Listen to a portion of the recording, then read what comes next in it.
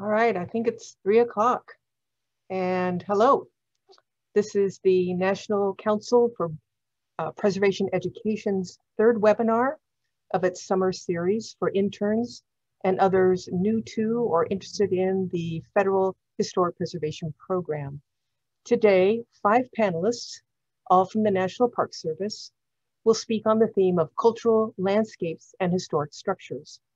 This series is offered by NCPE in collaboration with the National Park Service's Cultural Resources, Partnerships, and Science Directorate in Washington, DC. I'm Julie Johnson, the co-director of the National Council's internship program.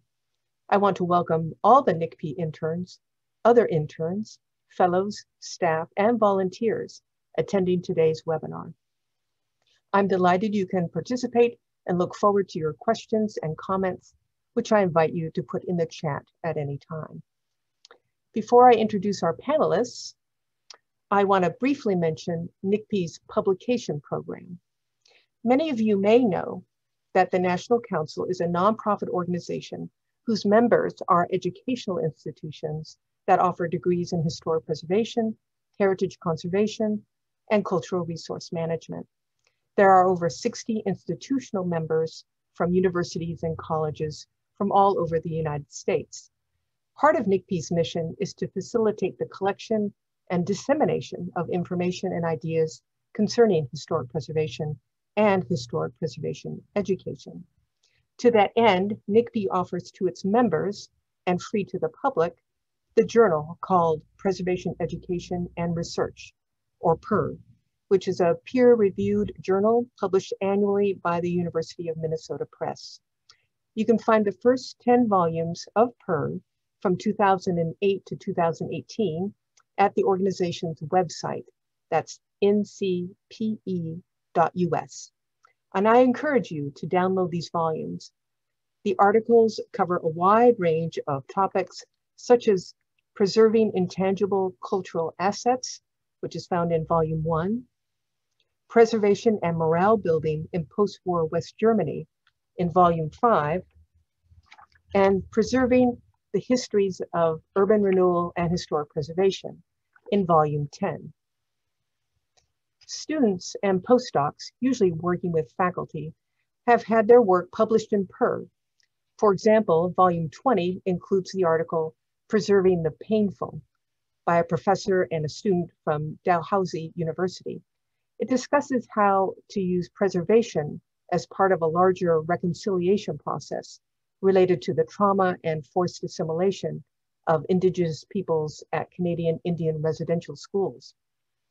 I mention this because the projects you're working on, and in some instances, the research that you're doing could be of interest to the larger preservation community, especially if it addresses larger themes or attempts to answer questions common to multiple sites if you want to take your work a step further by getting published, you're invited to review the submission guidelines at ncpe.us slash publications.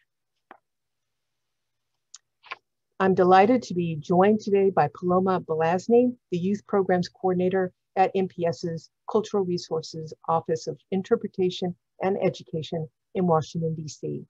Paloma is responsible for assembling the speakers in the webinar series and she wants to take a few minutes to explain how the National Park Service is organized. And let's see, Paloma, do you have a few words you'd like to say? I, I do, thank you. Hi everyone, I'm Paloma Belazny and I'm the Youth Programs Coordinator for the Cultural Resources Directorate at the Park Service's Washington office. Thank you all for joining us today and especially to our speakers for sharing their time with us. Please do enter any questions you have into the chat throughout the presentations. And we hope to have a few minutes after all the presentations for some Q&A. Um, we may go over the top of the hour, so I do hope you'll be able to stick around um, and hear our Q&A. But before we begin from our panelists, um, I'm going to provide you with a very short snapshot of how the Department of the Interior and the Park Service is organized so that you can better place our speakers. Um, if you've attended a previous NCPE webinar this month, you've heard my summary before, but please do indulge me for a few minutes for the sake of those tuning in for the first time. And if you are, thank you for joining us. Uh, first slide, please. Great. The Department of the Interior was founded in 1849 and currently has about 70,000 employees. The DOI is comprised of 11 bureaus and seven offices, and the Park Service is actually just one of those 11 bureaus, which are all listed on this slide. Next slide. In 2018, the department was reorganized from many different regions recognized by all the various bureaus into 12 unified regions to be used by all bureaus. And on this slide, you see all the, the 12 DOI regions. Next slide, please. Administratively, though, the Park Service operates within the framework of the Park Service's legacy regions seen on this slide. And the Park Service has seven of these regions plus the Washington office. Uh, so to see which DOI regions fit within the boundaries of these um, legacy regions, you have to overlay the map of the DOI regions um, with this one and do that in your mind. Um, each region, each legacy region has one or several regional offices within its boundaries. Next slide, please. There are currently 423 units of the National Park Service. Although there are 19 different naming designations like National Historic Site, National Monument, we in the Park Service very often call all of our units national parks. And this amazing map you see on the screen has all 423 units and is available on nps.gov if you're interested. In addition to managing 423 units, the Park Service administers a number of programs that implement the Park Service's role in the National Preservation Program, and that was the subject of our first webinar. These programs, for the most part, are mainly administered out of the Washington office. Next slide, please. The Washington office, or WASO, is a separate office from regions. And here on the slide, you see an org chart of WASO, starting with the director of the Park Service at the top, and the director has various deputies and associate directors, and they manage national programs, national policy, and budget. And two of our panelists you'll hear from today work in the WASO office under the Cultural Resources, Partnerships, and Science Directorate, as do I. Um, and with that very brief framework, I will hand the spotlight to Julie. Thanks. All right, um, let's see if I can do this. All right, thank you for that explanation, Paloma, and for your time and energy putting together the entire webinar series. It's been a pleasure working with you this summer. As I said, we have five panelists today. You may put any questions for them in the chat and we'll respond to them most likely after the uh, webinar is completely concluded. I will also provide contact emails for all the speakers at the end, as well as information about our next webinar, which is the last in our four-part series. I want to introduce our first two speakers, Susan Dolan and Stephen Pisani, who presently will present jointly on the topic of park cultural landscapes and park historic structures. Susan uh, Dolan is a historical landscape architect and national manager of the NPS Park Cultural Landscapes Program. Her responsibilities include developing, implementing, and overseeing a service-wide landscape preservation program that includes research, planning, stewardship, training, and technology development. And she previously served as a, the historical landscape architect for Mount Rainier National Park. Stephen Pisani is the Bureau Historical Architect and Program Manager for the WASO Cultural Resources Partnerships and Science Directorate, Directorate Park Historic Structures Program. Prior to coming to Washington, D.C., he spent nearly 25 years in the National Park Service working as a historical architect and project manager in the Northeast region and at the George Washington Memorial Parkway. So I'm going to turn it over to Susan and Stephen. Hi there. Thank you very much, Julie. and Paloma. It's really an honor to be here with you. Thanks everyone for tuning in. So Stephen and I are going to talk about the national programs that are the Historic Structures and Cultural Landscapes programs. Stephen, would you like to introduce yourself? Sure. Good afternoon, folks. As Julie said, my name is Stephen Pisani. I'm the Bureau Historical Architect and the uh, Park Historic Structures Program Manager. Uh, she said before I started with the National Park Service around 1991, and prior to that, uh, I worked as a seasonal uh, employee during college, uh, working on the preservation trades. I'm Susan Dolan. I'm the Bureau Historical Landscape Architect and manager of the Park Cultural Landscapes Program. And I want you all to know that I began working for the National Park Service as a NCPE intern in 1995. So what are historic structures and cultural landscapes? And we're going to give you just kind of a glimpse of this today. You'll hear more of both. Uh, so Stephen, but what is a historic structure? Sure. A pre-contact or historic structure is a constructed work created to serve human activity. Some examples uh, of that include buildings, monuments, dams, canals, fortifications, temple mounds, and kivas. Right, and a cultural landscape, very simply, is a geographic area uh, that exhibits cultural values. And these are highfalutin definitions, really, but the realm that we're talking about here is historic places. And these are two halves of the same coin, structures and landscapes. They all make up historic places. And Steve and I are both interested in the whole big picture of historic places and their preservation. And the National Park Service preserves the nation's largest collection of historic structures and cultural landscapes. And Stephen, roughly how many historic structures are we preserving in the National Park System? approximately 26,000. And we are preserving over 900 cultural landscapes in those 423 national park units. So a lot of historic places. And here we're looking at a whole range of different types of landscapes and structures that go from the East Coast all the way out to the far Pacific that are part of the park system. And Stephen, you had a hand in restoring the Wesleyan Chapel on the top left here. And why is this building significant, Stephen? That's correct. So the Wesleyan Chapel, which is located at Women's Rights National Historic Park, is where the first Women's Rights Convention was held in 1848 and where the Declaration of Sentiments was first presented. Uh, this eventually led to the 19th Amendment in 1920. Wow. And we're also looking at a range of different types of landscapes associated with Euro-American settlement of the West in this orchard in Buckner uh, Orchard, North Cascades National Park. We're looking at a cemetery associated with Native Hawaiians in Kalaupapa on Molokai.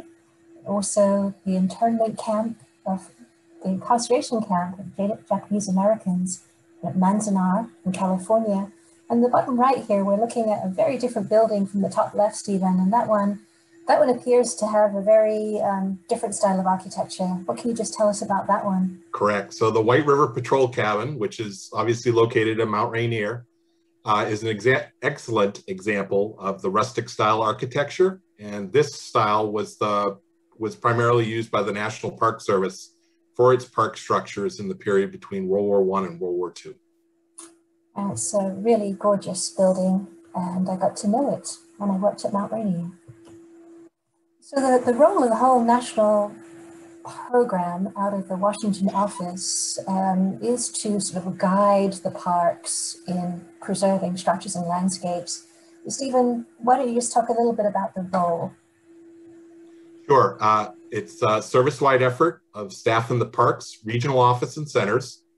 Uh, and including the Washington office, which is where Susan and I work. And, you know, we're dedicated to the preservation protection of, as we said, over 26,000 pre-contact and historic structures and approximately 900 cultural landscapes in the parks. So to, to do this, we, we work in three areas, research, planning, and stewardship. And we help guide the regions and the parks in their research, planning, and stewardship efforts for historic structures and landscapes. And research is about learning what's precious to preserve, getting the information that you need to preserve these resources in the future. And planning is about looking ahead to the future and how we will make adaptations, restoration, the treatment that we'll do, a vision for the future. And in stewardship, that's what I'd like to think of, or we both like to think of, is the dirt under your fingernails. Stewardship is the in perpetuity game. It's the care and feeding of these places, the stewardship that can preserves them in perpetuity. So Stephen, we have this opportunity to work with NCPE interns and other kinds of interns as associates, and they do a lot of stuff, great work for the National Park Service, and landscapes, don't they? Sure, we wouldn't be able to do what we do without them. Um, and to give some folks some uh, examples of how they assist us, uh, they prepare inventories involving historical research, field work, photo documentation, drawings, mapping and understanding change over time of the structures.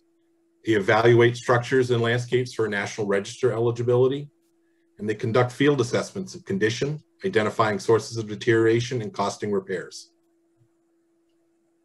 And they also help us prepare treatment plans, those plans that look ahead to the future. And these are historic structure reports and cultural landscape reports and they set a future vision for how we're going to manage and treat these places. And they also help us create educational and training materials for National Park Service staff and our partners in preservation. And they also help us by preparing content for our websites and social media. And of course, what we're about is raising awareness in the general public about these resources and having people learn about them and the interns do a lot of work for us to help us with this. And we'd like to just tell you about interns that we have currently working with our program. And uh, Stephen, why don't you talk a little bit about Leah and Jeff? Sure. So um, Leah is one of our fantastic interns. Uh, she's from Pennsylvania background in library and information sciences, and she works in our public outreach and education, serves as our webmaster, webmaster and librarian. So she keeps our park historic structures and cultural landscape programs websites uh, up to date and running smoothly. Uh, Jeff from Oklahoma, uh, his background is in English, library science, and archives. Uh, he builds and manages our online collection of historic structures and cultural landscape reports uh, which is an immense task because currently we have over 4,000 of those uh, documents. And most of those are available for you to download and read, and we'll show you where you can find them in a minute. So Jackson, who's also currently with us, is from California, and he has a background in archaeology and in GIS, and he works to align data about historic structures and cultural landscapes with facility management data so that our facilities colleagues can get the money they need to, to work on these structures and landscapes and preserve them. And he also works on mapping for us. And then we also have Craig, and he is from Michigan, and his background is in architecture and public history. And he's also working on that similar effort to align the worlds of historic preservation with facility management by aligning data and he also develops educational and training materials. He's a whiz with graphic design and de desktop publishing. Uh, he does a lot of materials for us.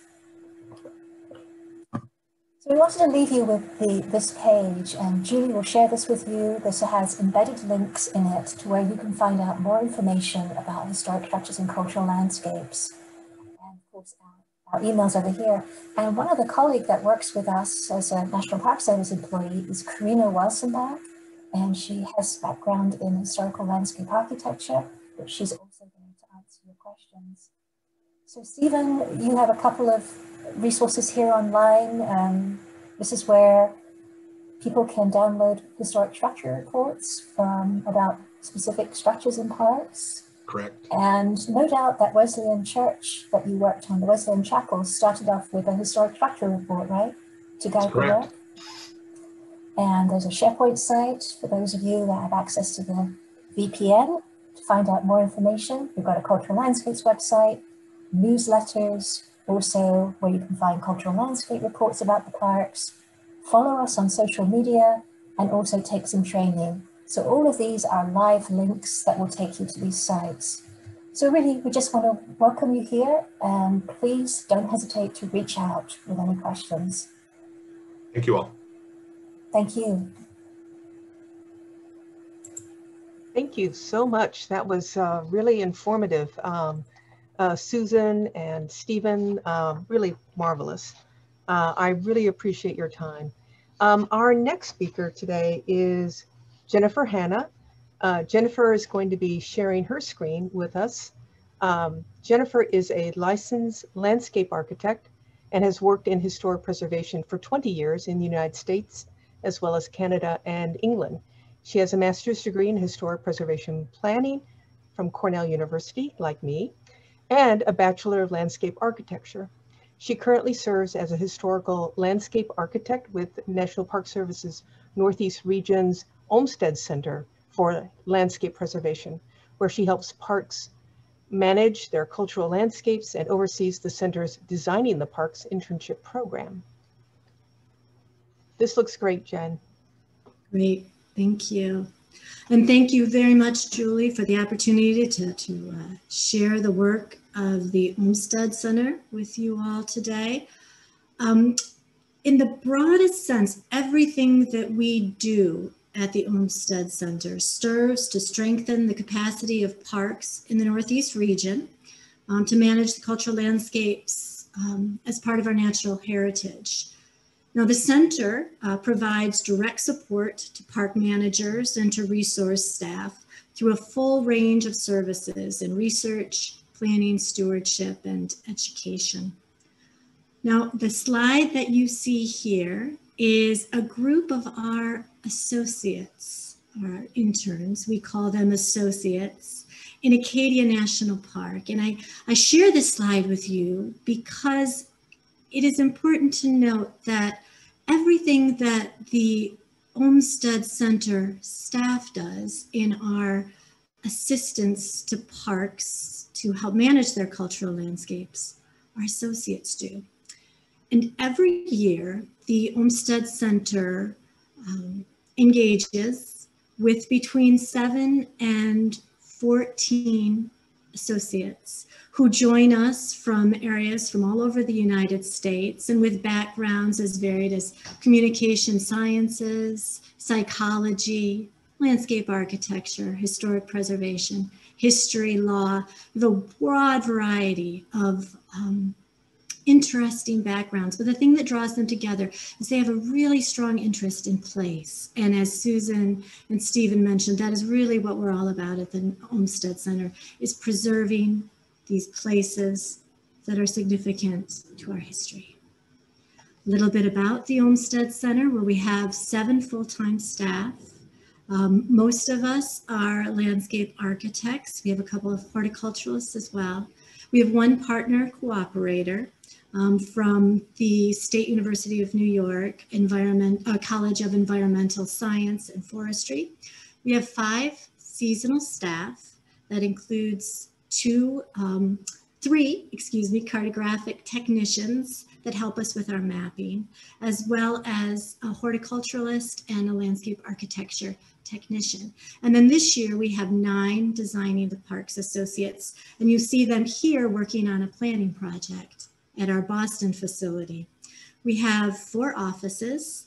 Um, we have an office in Boston, Philly, Richmond, and Syracuse, where SUNY ESF is located. Um, in 2021, this year, we have about 82 active projects in 35 parks within Region 1 or the Northeast region, um, which of course includes from, as Paloma kindly showed us, from Maine down to Virginia. And then every day we're providing technical assistance to all the park, well, to, to a park, at least one park um, in Region 1. the work that we do at the Olmsted Center really falls into three program areas, although they all really intersect. The first is planning. And here we're assisting parks with documenting history, existing conditions, and the significance of the cultural landscapes in their care. Here you see a group of our associates learning how to um, go through our mapping progress, uh, process or workflow. We also have a program um, in education and training. Here you see our associates actually in the park being trained by park staff. But the Olmsted Center also works with park staff around the country um, where we go into the parks and train um, in both um, park management as well as more hands-on training. Um, and that includes an arborist training program, which we are relaunching this year. And then finally, we also have a maintenance or stewardship program where we assist the parks, much like at the national level, to maintain, preserve, um, and care for their cultural landscapes. Um, cultural landscape inventories are a large part of the work that we do at the Olmsted Center. Um, a cultural landscape inventory is sort of a, a quick sort of uh, pass through to identify how a landscape evolved over time. And so we have three parts of this that the associates engage in as well as the staff. The first is field work. So you go out into the field and you try to determine what is there, what remains that tells the story of how this landscape developed. We also do research. We research at the archives at the park as well as researching um, at uh, national archives, so in the National Archives and Records Administration, as well as private archives. And then finally, we create um, maps as well as narrative to document this history. Um, and you'll see here our map, which we create in um, ArcPro. We also create cultural landscape reports, which Susan mentioned. They're a deeper dive, a bigger dig into the history of place. Um, and here you see three that we did last, well, the year before last. Um, and as part of this, as I said, we dig deeper than we would in a cultural landscape inventory. And we also create period plans to capture a moment in time, what a landscape looked like at a particular moment so that we can better understand how that landscape developed and convey that evolution to both the park and the public. So you can see the contrast there. We also use the cultural landscape report to guide the future, as Susan mentioned, of these really important places that we are responsible for. So for instance, in a cultural landscape report, we can begin to understand and provide a basis for making decisions about park cultural landscapes. So for instance, at Sagamore Hill um, National Historic Site, we can understand and justify what trees to remove, and then to restore the meadows and fields, making this landscape more authentically read or convey its past. We also provide technical assistance. The associates help us with this as well. This particular project is um, uh, for Acadia National Park. Isle Acadia, um, in Acadia was undergoing the rehabilitation of its um, or rails, or excuse me, its uh, circulation systems or its road systems. And so we wanted to make sure that those particular characteristics of this circulation or road system were conserved and preserved and rehabilitated so that they would be there um, the, the um, slope and crown of the road, the, the margins of the road, to preserve those elements that would um, convey, again, the historic, authentic, or authentic, excuse me, experience of this place. So again, the types of work that we do, um, we do field work. Here we have a group in Acadia National Park doing a trails um, survey. Here is another associate, Daisy, um, at the National Archives doing research for the Harriet Tubman National Underground Railroad, National Historical Park Cultural Landscape Report. Um, we also, you'll see in the bottom corner, a group who are doing a video shoot for a communications initiative where we were trying to tell the stories of these cultural landscapes in a very accessible way. And then finally, Marissa, um, who is helping to maintain the um, historic vegetation in our parks and to continue the legacy of the historic plant propagation program.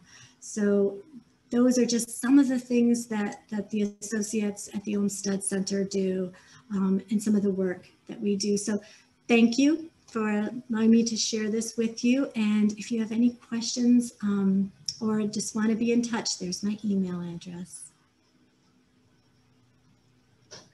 Thank you so much, Jennifer. That was uh, a great uh, overview of your uh, center and the work that you do and of course, as you said, this is the work that the um, interns do as well. So I appreciate that overview. It was great. Thank you so much. Our next speaker is Genna Mason Bjornstad. Uh, she's a historical architect, landscape architect, and lead for the Historic Preservation Program at Joshua Tree National Park. She has a Master of Landscape Architecture and Historic Preservation degree from the University of Georgia and a BA in Art History and Archaeology from the University of Michigan.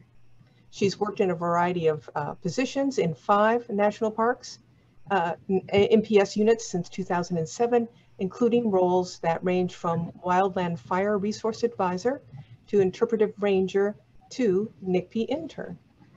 So Genna, uh, why don't you take it away? I see that you're sharing your screen. Yeah, hi, can you all hear me all right? I'll unmute and say yes.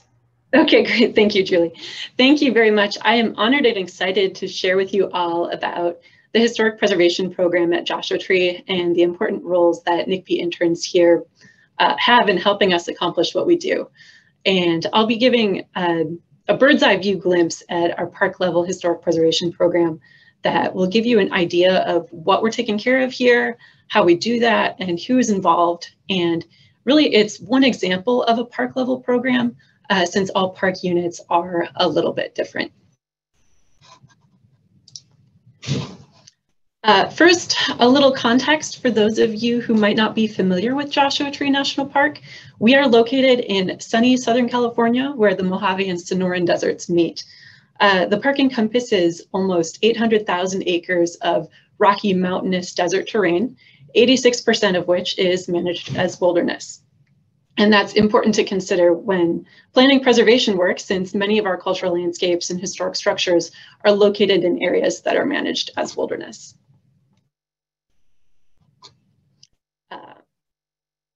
what are the historic resources we're taking care of at Joshua Tree? When you think of our park, it might immediately conjure up images of our quirky, very Instagrammable namesake tree, which is actually a yucca, uh, or you might think of a U2 album.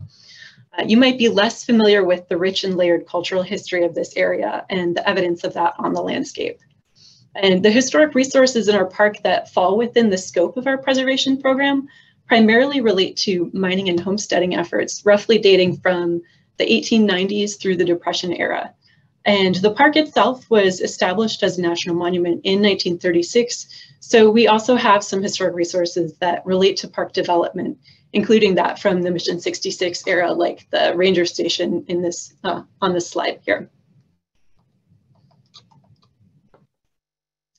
There are about 180 historic structures that we manage throughout the park, and they range in scale and complexity from just a steel water tank to pieces of equipment to retaining walls up to entire buildings or cultural landscapes. Uh, many of our structures are part of one of our five, soon to be six, cultural landscapes that have been documented with a full cultural landscape inventory, um, all of which represent mining and homesteading. And there's a fair amount of variation in the materials we're, we're dealing with out here and the conditions that these resources are in. Uh, our structures are all pretty unique vernacular structures built of wood, adobe, metal, stone, uh, many of which include repurposed material. And many of our historic structures or resources are fairly humble and also very integrated into the landscape with mining cabins that are literally built into or underneath boulders uh, that pose pretty unique challenges to preservation. Our structures and landscapes are scattered throughout the park, so it can take a lot of advanced planning and time to access them. And many are manageable to get to within a day hike, but some require a long drive, some require four-wheel drive roads, and some you have to get to during an overnight backpacking trip. And there are just a few examples highlighted on this slide here. So these sites are probably somewhat easier to access now than they were historically, but they were not necessarily built to last forever. Weathering, erosion, and general decay are the most common impacts that we're trying to preserve against. Uh, other threats that we frequently face at Joshua Tree include pest infestation. We have some pretty active termites out there. Uh, visitors and the damage that they cause, like vandalism and graffiti, and also wildfire, uh, park undertakings, and then accelerate, accelerating many of the above, of course, is climate change. And these are not all unique to Joshua Tree, but are things that could be impacting historic resources in just about any park unit. Understanding where and what historic resources we have at Joshua Tree, along with some of the threats and impacts we see. The question is, how do we manage and preserve these resources and who is part of those efforts? Uh, our historic structures and cultural landscapes team at Joshua Tree is pretty small. Right now, our preservation staff is really just me and one NCPE intern, and there's another one who will be joining us next week. Um, so we work very closely as a team with the other cultural resources staff in our park to accomplish tasks and also engage park staff from other divisions whenever we can. But even when other park staff is interested in getting involved, they still have to do the jobs that they were hired to do. So we end up also relying a lot on volunteers to help out, including site caretakers, general preservation volunteers, project-specific volunteers, and then larger organized volunteer events. Uh, we also rely a lot on partnerships with a few different conservation corps groups and other preservation organizations. And these partnerships are usually project specific and established to um, accomplish funded preservation projects. And because a big part of what we do is based on preservation projects uh, that are planned and submitted for funding years in advance and then planned some more and finally carried out. And these are mostly larger comprehensive efforts to address known deficiencies like stabilization work, preventative or cyclic maintenance, or can be documentation and assessment-based projects such as completion of a CLI or a CLR. Uh, and then partnering with outside organizations and conservation corps can help bring in special expertise or lots of people when needed. And it definitely expands the capacity of our small program. And our program responsibilities extend beyond completing specific preservation projects. Uh, we also need to complete continuous monitoring and condition assessments, which is something we often rely on NCPE interns to help accomplish. There's also a lot of data management and data entry, keeping up on field notes, completing photo logs, writing reports, and so on, that are essential to creating the record of what we've done that will help inform future preservation efforts. And then there's also emergency preservation work that comes up, such as addressing graffiti or unexpected weather impacts. And I've kind of learned to always expect the unexpected out here. Um, and these are all things that we get NCPE interns involved with based on the opportunities that come up. There's usually a specific project that an intern gets to work on throughout their time at Joshua Tree, like writing a determination of eligibility or a National Register nomination, um, along with the condition assessments and other field work throughout so that they get a good sampling of experience that they can apply throughout their career. Other tasks our preservation team needs to be involved with are park management actions. And this includes compliance work for undertakings, um, input or collaboration on other park projects like trail work or reviewing wayside plans, working groups that aim to address specific management needs, and then special committees like the Wilderness or Accessibility Committee. And ultimately, there's a lot of collaboration happening in the park, and that helps preservation efforts, and it also helps support overall park management. In closing, I wanted to highlight a few of the park, uh, perks of working in preservation at a park level. Uh, first, something that's been really important to me in working at a park for a number of years is the chance to really get to know the resources and build a connection and deeper understanding of these places. It's also great working on a variety of projects to expand your knowledge of different resource types and treatments, uh, which could include traditional trades or other innovative approaches. Something that's meaningful within all of our professions, of course, is that chance to be immersed in the stewardship of culture and heritage. And then working in a park specifically, you can get involved with the whole spectrum of park operations, which can actually help inform your understanding of cultural resource management as well. Um, and also having a national park as your backyard is pretty rad. It's great. It's really fun. And last but not least, one of the biggest perks for me is that chance to get outside and enjoy field work and get the dirt under the fingernails. Um, so thank you all very much for following along and thank you especially to all the NCPE interns out there. I hope you're enjoying your experience and that this is a bright start to your career. You're really the ones who will perpetuate the field of historic preservation and cultural resource management. So please stick, stick with it and feel free to reach out if you'd like to connect. Thank you very much. That was great. Thank you so much, Genna. And I really appreciate that uh, you were able to uh, explain not only what you do and your interns do, but how it relates to their future career uh, or potentially can relate to their future career. Uh, I really appreciate the 360 uh, view uh, of your work. Our last speaker, Heather Feil, is an architectural historian with the Alaska region of the National Park Service, where she writes about old buildings, advocates for their preservation while getting people excited about their history, telling all American stories through the built environment. Heather earned a BA in history and anthropology from the Montclair State University in New Jersey and an MA in Historic Preservation from Savannah College of Art and Design.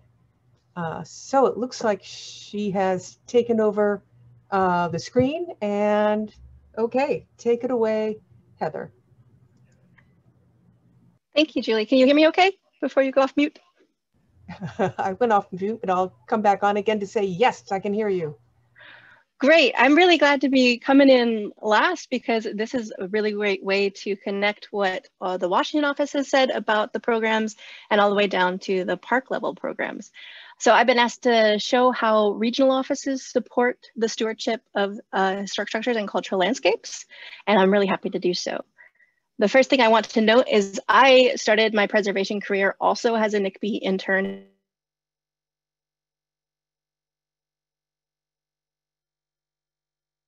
an architectural historian with the Alaska Regional Office. As Paloma mentioned at the beginning, uh, the regional offices are separated out by these geographic areas. And we went through a little bit of a reorganization in 2018 with these numbers. So you might hear the legacy names or you might hear the region numbers. And this is just to point out that I am in the Alaska region, but that's also DOI region 11. Specifically, we have a big uh, mission statement within the regional office itself, but for historic structures and cultural landscapes, we're primarily here to assist the parks. Let's look at what that might look like. So Alaska is a pretty big landmass. Um, I think you guys are all aware of that. We only have 17 different national park system sites in Alaska. Uh, 15 of those are parks and preserves, so kind of a two for one deal. But what we lack in numbers, we make up for in landmass and logistics. So it's um, a pretty difficult task to get out to even inventory our historic structures and cultural landscapes let alone to be able to be good stewards of them. We're going to kind of go through the steps that it takes in Alaska to make that work and also how interns are in are definitely a key piece in that process. Looking at the Historic Architecture and Cultural Landscapes branch in the Alaska Regional Office, right now it's a team of two that support the parks. It's uh, myself, and then my boss is Grant Crosby, who's a senior historical architect. So obviously we can't do it all without other assistance. And as other people have mentioned, we kind of start from the stepping stones. We have the Organic Act that establishes the national park system itself. Then each and every single park has its enabling legislation as to why it's important. And then there's guiding documents that then help to assist what else we, what we should be prioritizing. And everything that we look at for both historic structures and cultural landscapes is looked at through the lens of the National Register of Historic Places it's literally the list of historic properties that are worth preservation for in these four different categories of event, person, architectural engineering, and information potential. But it doesn't, something has to have significance, but also has to retain integrity and not just structural integrity, more so along these seven aspects of integrity that the National Register has established, location, design, setting, work, materials, workmanship, feeling, and association. And all those things wrap up into, does this place on the earth still tell the story that it's important for. So we're talking about these two things, and as Susan had mentioned, it's two sides of the same coin. So historic structures and cultural landscape working together. So those historic structures are those individual buildings and structures, and they're typically part of a landscape. And then that cultural landscape is that whole play, including the structure and the views and the vegetation, roads, trails, small scale features. So the way I like to remember it is it's kind of like a chicken. Stick with me. Um, the thigh and the drumstick and the back, those are the historic structures. But the whole thing that makes it a chicken is what makes it the cultural landscape. So we start in that same spot that Susan mentioned. We start with the research and documentation section we're going to look at what we have. And for us, it's hard to get out to see what we have. Um, so here on the historic structures column is Soapy Smith's um, within Klondike Gold Rush. And I just wanted to point out that this was an intern from 2008. Uh, she came up, her name is uh, Tara. She came up and she was working on a master's degree in historic preservation, liked what she did, was doing so much with us that she went back down and pursued a secondary degree within uh, architecture and is now a licensed historical architect on the East Coast and landscapes. Here's Bremner Mines and Wrangell St. Elias, and this takes two plane trips to get to. And sometimes we end up with uh, Historic American Building Survey data as well out of this fieldwork. Of course, we're looking at research within our own repositories within the parks themselves and also National Archives. And the research and documentation has taken some great leaps in the areas of technology as of late. So the photo in the historic structures column is the Kantishna Roadhouse in Denali National Park and Preserve, and then um, the GIS work being done at the Chilkoot Trail in Klondike Gold Rush. Just want to show you a little bit more about that, what that scanner can do. So that's a Trimble T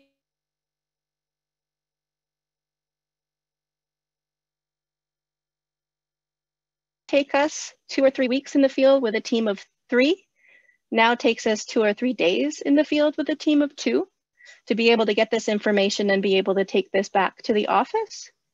And then from that information, we can develop not only interpretive material, but also HABS documentation as well. So looking at it as a landscape scale, this is also helpful for us. So this is Kennecott Mines, National Historic Landmark District within Wrangell St. Elias. And that has been also scanned with a variety of uh, products, but including the Trimble TX8. it's really great to be able to have that research and documentation, but then we need something else to be able to show for it. And typically what we what we'd like to least end up with after the field season is over is some kind of determination of eligibility. So in that first column, we're looking at determination of eligibility that we reservation office. And with culture determination of eligibility in the form of that CLI that you already been familiar with.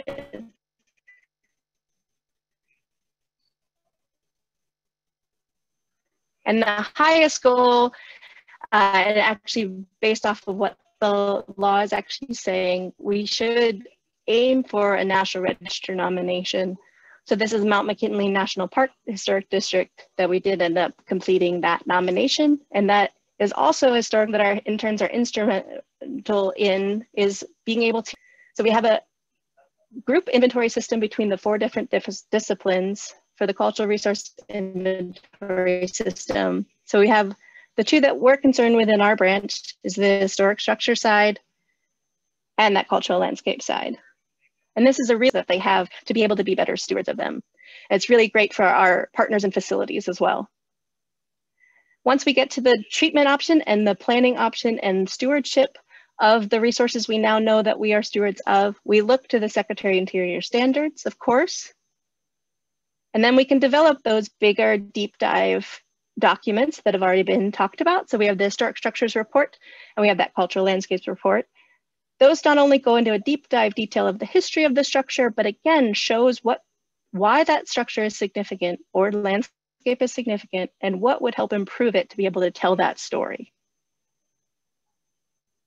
So here's an example. This is actually from the Olmsted Center, but up here in Alaska uh, Mount McKinley National Park Headquarters District. Over the years, the parking had um, taken over, as it often does with anyone with a vehicle. So you can see these green areas that had become parking when in fact, during the period of significance, they were uh, tundra. And so the recommendation coming out of the CLR was to restore that. So we were happy to say that that work was completed and, it, and this landscape can better convey its significance now. Looking into st other stewardship options, we have other documents that we can produce, like designed guidelines and vegetation treatment and preservation maintenance plans on the landscape side. That design guidelines, uh, one of the key pieces is to be able to show and illustrate the character defining features, mostly for our partners within facilities. And then on the vegetation management side, looking at one page out of that Glacier Bay Lodge, uh, what the views and vistas were during the period of significance and what they had become now.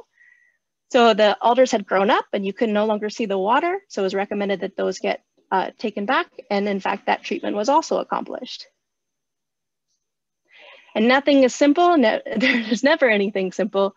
So um, many areas we deal with layers of significance. And so we're gonna look really quick at Katmai National Park and Preserve in the spot on the earth where most of our visitors come which is Brooks Camp. There are four different landscape districts right on top of each other that tell a different story. And so with the help of our interns, we were able to develop this poster series that would go over what was significant about that. So we can kind of say like what this district is, what's the significance, what's the condition, what are those char character defining features? And then we were able to do that for those four main historic districts that are right on top of each other at Brooks Camp.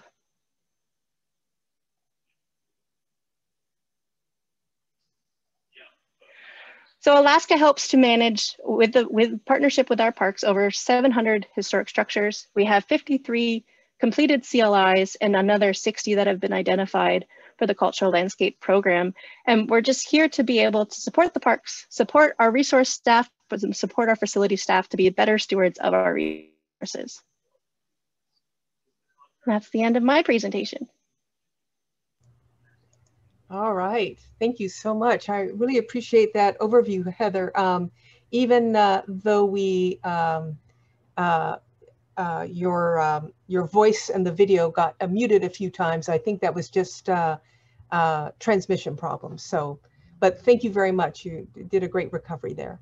And uh, I think I will um, we had one question and uh, I'll ask that before we go into my last slide, uh, which is, um, yeah, um, uh, for Susan and Genna and Heather, where were all your NCPE internships held and what did you do as an intern?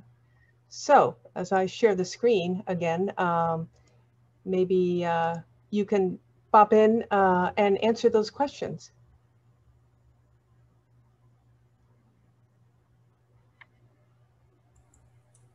Uh, Julie, I, I put my answer in the chat, but I can say it again.